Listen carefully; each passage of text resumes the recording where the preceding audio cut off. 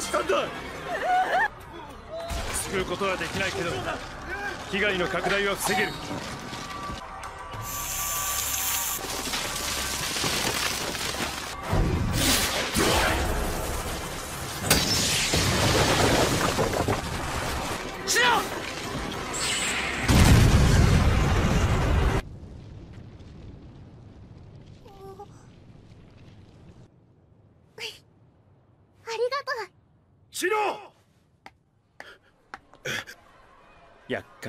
手だね。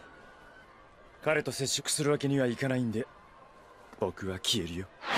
こんな騒ぎがあった後で姿を現すとは考えにくいし元お社の護衛団にいた風神とかいう男の情報も得られない。何ですって。私は怪我の手当てをしてもらってくる。俺はチノに付き添うあ こんちは。僕お社縁。間違いないわ。さあ久々すぎて忘れちゃいました。だけどどういう風の吹き回し？でも人間が爆発したのにはびっくりしたよ。あれって君を狙って現れたんだよね。木の葉の里は別の目的で襲われたってこと？この葉を襲ったのも俺が目的だった。知っているな。はああの子が。生まれは水の国の小さな島だったはずだよ。売り飛ばされた血形限界なんてそんなもんじゃない。僕は好きだけどね。血形限界。レア度を上げるために一人だけ残して皆殺しにしちゃったこともあるけど毎日餌あげてたしお小遣いもあげてたのに。もういい。ならば風神には仲間が。あの幻術トラップはそいつの仕業か。うん。ああそうそう。その子確か血の池一族だったっけ。それは千住柱間や内葉まだらがしのぎを削っていた時よりも特に幻術に長けその同術にとらわれたら最後逃れることはできないそれに性質が嫉妬した。この女が嫁いだせいだ。そして血の池一族の得意な体質を知る周囲の者たちはその際制裁が雇ったのが。どうした？特殊な道術を持つ血の池一族に対抗できるのは木の葉で迫害され苦しみ続けた内派一族もまた。イタチはこのことを知っていたのか？さあ。地獄谷はどこだ？湯の国だよ。けど応援してるよ。頑張って。起爆人間なんて物騒なもの。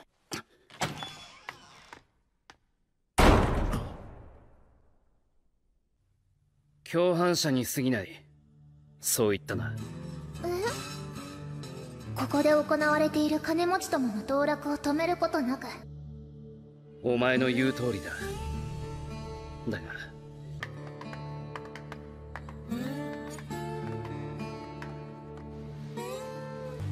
あのさどうせ教えてくれないんだろうけど一応聞いとくね。そこに起爆人間を作ってる奴がいるのか？おそらくいない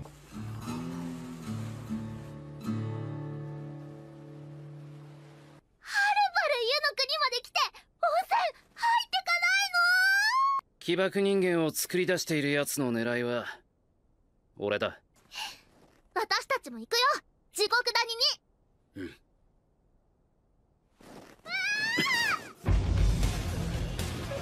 離れていろ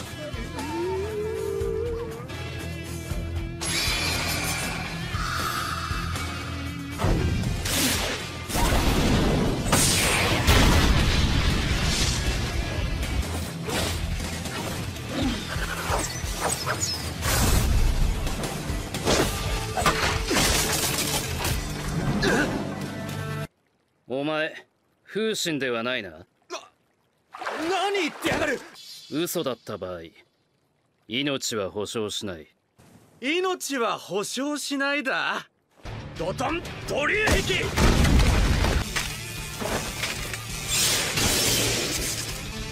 両豚ゴムまりこっからだ。アマテラス。マジな何でも喋る。かぐ土喋らなくていい。待っててくれ。頭。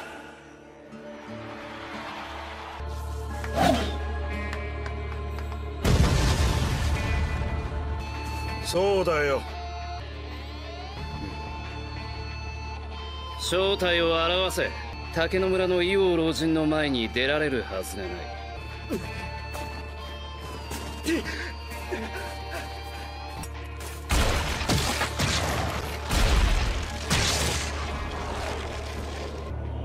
風神。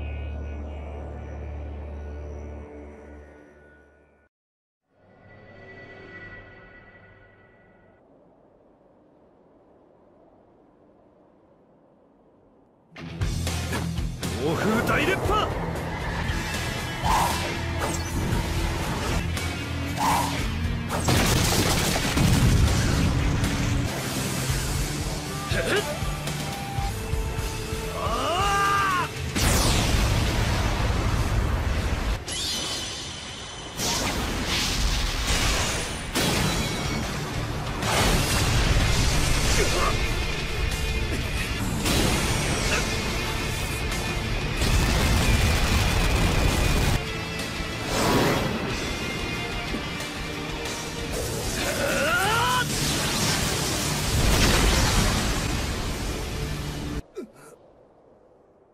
全てを吐いてもらおうか。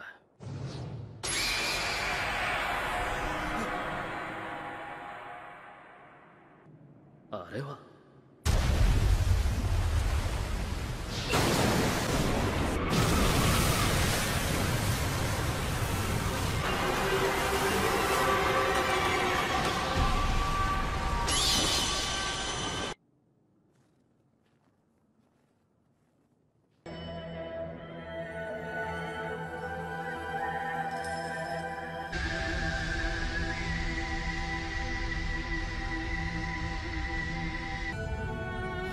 篠池一族はこんな場所で。人が暮らしていた証だよ。空飛ぶ鳥を撃ち落としわずかに生えた草を食らって生き延びた。私物心ついた時にはもうお社の屋敷だったから。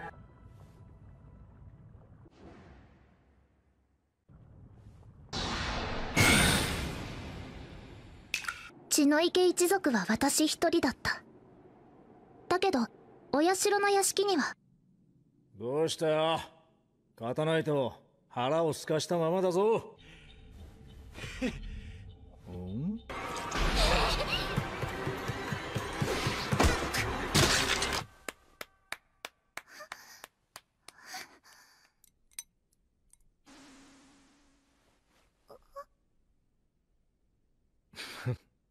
くさび不動産社長くさび様の手札無敗記録更新中上しの血流眼シノ客席の皆様も興味津々のご様子ですそんなに見たけりゃすぐ見せてやるよ。